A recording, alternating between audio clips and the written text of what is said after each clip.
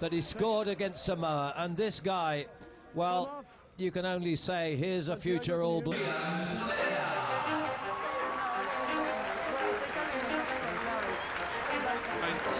Julian Savea needs to get involved. We haven't seen much in the middle. Yeah.